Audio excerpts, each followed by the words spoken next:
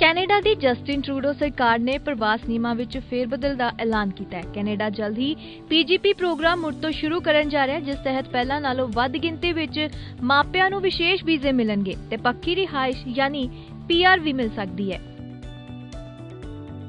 Canada ਦੇ ਸੰਸਦ member ਤੇ ਨਾਗਰਿਕਤਾ ਤੇ ਪ੍ਰਵਾਸ ਬਾਰੇ ਸਥਾਈ ਸੰਸਦ ਕਮੇਟੀ ਦੇ ਮੈਂਬਰ ਰਣਦੀਪ ਸਰਾਏ ਨੇ ਦੱਸਿਆ ਕਿ ਇਮੀਗ੍ਰੇਸ਼ਨ ਰਿਫਿਊਜੀ ਤੇ ਸਿਟੀਜ਼ਨਸ਼ਿਪ ਕੈਨੇਡਾ ਜਨਵਰੀ 'ਚ ਫੈਮਿਲੀ ਕਲਾਸ ਅੰਦਰ ਪੇਰੈਂਟਸ ਤੇ ਗ੍ਰੈਂਡ ਪੇਰੈਂਟਸ ਪ੍ਰੋਗਰਾਮ ਫਿਰ ਤੋਂ ਸ਼ੁਰੂ ਕਰਨ ਜਾ ਰਿਹਾ ਹੈ। ਉਹਨਾਂ ਦੱਸਿਆ ਕਿ ਇਸ ਪ੍ਰੋਗਰਾਮ ਤਹਿਤ ਕੁੱਲ 20000 ਅਰਜ਼ੀਆਂ ਲਈਆਂ ਜਾਣਗੀਆਂ।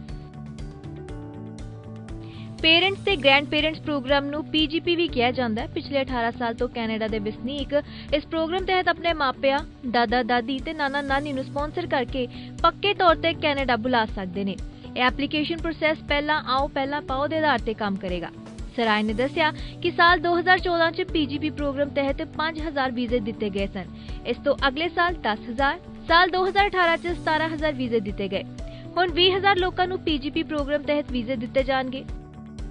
ਸੋ ਹੁਣ ਜਲਦ ਹੀ ਜੇਕਰ ਤੁਸੀਂ ਆਪਣੇ ਮਾਪਿਆਂ, ਦਾਦਾ, ਦਾਦੀ, ਨਾਨਾ, ਨਾਨੀ ਨੂੰ ਬਾਹਰ ਬੁਲਾਉਣਾ ਚਾਹੁੰਦੇ ਹੋ, ਤਾਂ ਤੁਹਾਡੇ ਲਈ ਇਹ ਸੁਨਹਿਰੀ ਮੌਕਾ ਹੈ। Bureau report, daily post, Punjabi.